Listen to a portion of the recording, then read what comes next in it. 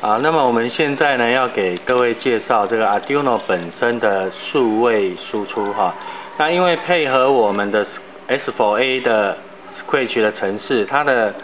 能控制的数位输出的角位呢只有十、十一跟十三，所以各位可以看到我们现在把十、十一跟十三呢就接到我们 LED 的正极啊，接到 LED 的正极，然后呢在 LED 的负极呢，就接到电阻哈，接到这个保护的电阻，然后再接地哈，接地接回到 Arduino 的板子上。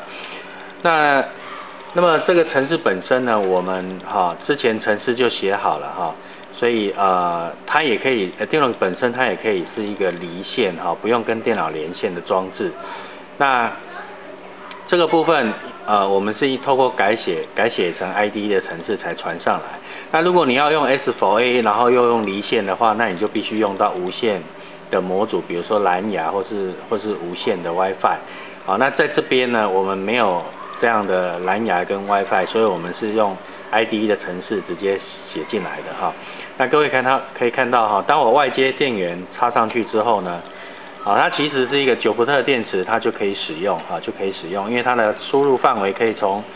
啊，七伏到十二伏都可以使用哈。那不同的 Arduino 的的板子哈，也可以接受程度也不太一样。网络上也有看到有啊，可以接收到二十四伏特的也有哈。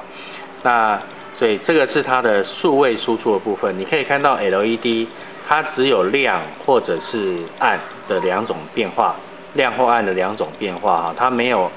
啊没有那个渐渐变亮或渐渐变暗的。的那个变化哈，